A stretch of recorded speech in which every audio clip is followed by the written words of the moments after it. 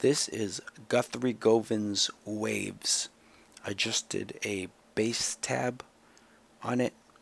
You can see how I did a certain section of it in a few of my videos. Alright, enjoy. I hope my hard work paid off.